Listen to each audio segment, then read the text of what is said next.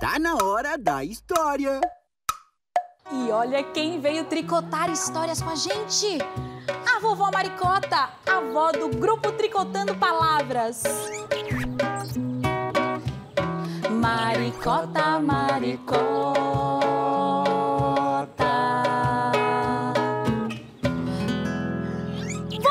Vocês me chamaram? Minha vovó é a Maricota, tem idade de montão, enche mais de uma mão, todo mundo se ajeita, prestando atenção. Maricota, Maricota.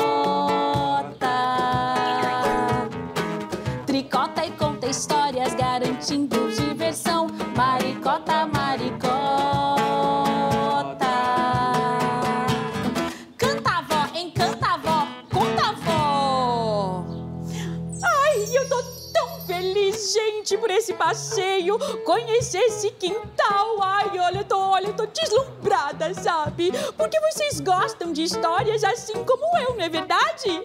Ai, olha, eu tenho muita história pra contar, sabe, gente? Vocês estão com tempo?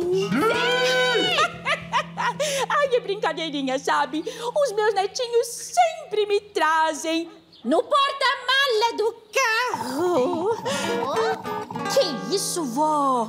É brincadeirinha, brincadeirinha. Bom, então vamos começar a tricotar palavras. Bora lá! Ai, onde tá minha cadeira de balanço? Eu vi, eu vi, tá ali, ó.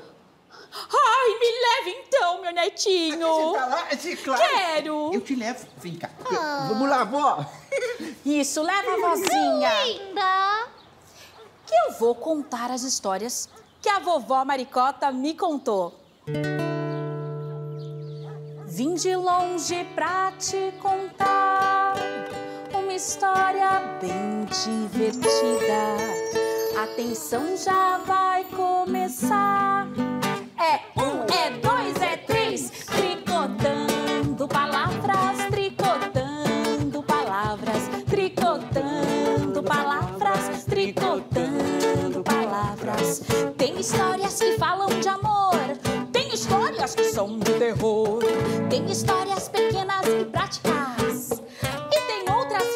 Fantásticas, tricotando palavras, tricotando palavras, tricotando palavras, tricotando palavras.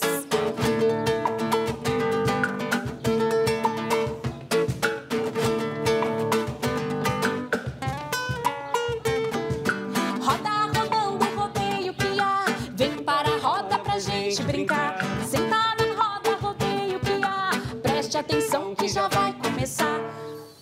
E agora, atenção. Vou contar para vocês uma história verdadeira. É uma lenda brasileira. O tio Barnabé, vocês conhecem o tio Barnabé? Era um senhor negro de mais de 80 anos que morava coberto de sapê, lá junto da ponte. O tio Barnabé adorava ficar sentado com o seu pé direito num toco de pau em frente à sua casa, aquentando-se ao sol. O tio Barnabé sabia um montão de histórias de saci. Será que ele pode contar uma? Espia só! Saci, é uma coisa que eu juro que existe. Gente da cidade grande que nem vocês não acredita. Vocês acreditam? Ah, por que existe? Existe. A primeira vez que eu vi um saci, eu era assim, ó, desse tamanhozinho assim, ó. Faz tempo, isso, como faz tempo. Isso foi no tempo da escravidão, que era da fazenda do Passo Fundo, do defunto Major Teotônio, compadre de Dona Benta. Depois disso, quantos e quantos? Mas vocês estão preparados para saber quem que é o Saci? Porque pode aparecer um por aqui. Será que tem aqui nesse quintal? Pois ele é um diabinho que anda solto pelo mundo, carzando tudo quanto é confusão que existe. Alguém sabe o que, que ele traz na cabeça? Um capuz, Que cor? vermelho, E na boca? um cachimbo. Alguém sabe onde é que tá a força do Saci? É. Tá na carapuça. Quem consegue tomar a carapuça de um Saci torna-se senhor de um pequeno escravo. E quanta confusão ele causa! Sabe aquele ai? Aquele ai? Azedo! Leite quebra a ponta das agulhas, esconde as tesourinhas de unha, bota as pernas sopar. Atormenta os cachorros, atropela as galinhas, percebe os ca... persegue os cavalos no pasto, chupando o sangue deles. Quando encontra um prego, vira de ponta pra riba, pra que espete o pé do primeiro que passar. Tem as maldades novas, some cassinha do Wi-Fi. Deixa todo mundo doido, gente. Saci não faz maldade grande, mas há maldade pequenina que ele não faça. Outro dia, eu lhe dei uma lição de mestre. Sabe o que aconteceu? Tinha anoitecido, eu tava rezando. Rezei. Aí me deu, me deu uma vontade de comer pipoca. Fui no terreiro, peguei uma espiga de milho, debulhei o na caçarola, peguei a caçarola, botei no fogo e vim cá pro meu canto. Pra picar fumo pro meu pito. Dali a pouco, ouvi um barulho. Pensei era comigo. Será que é saci? Será que era? Será que é Saci? Deixa eu ver se não tem saci aqui.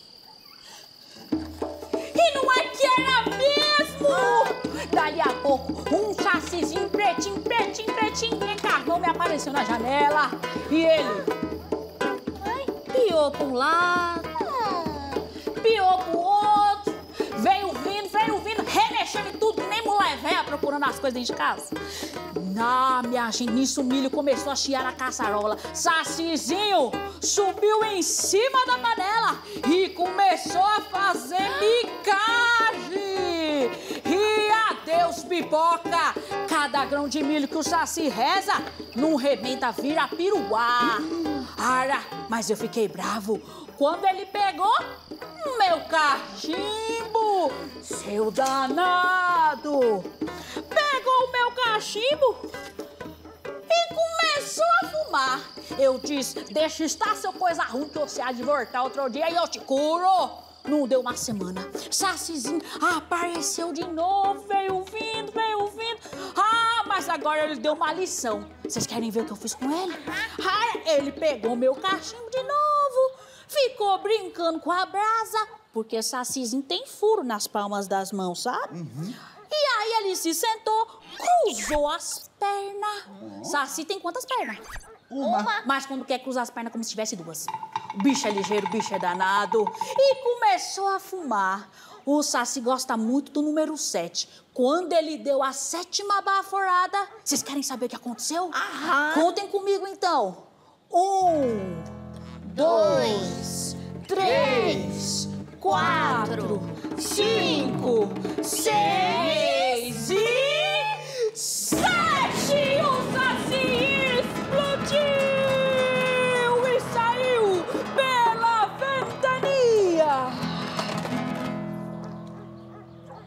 É que eu tinha socado pólvora no fundo do cachimbo quando ele deu a sétima baforada. Ficou com a cara toda queimada. Karma, mas tá vivo, viu? Tá vivo. Tem muito saci ainda por aí. E olhem aí! Saci, saci, menino saci. Saci, saci, menino saci. Ele é bem pretinho,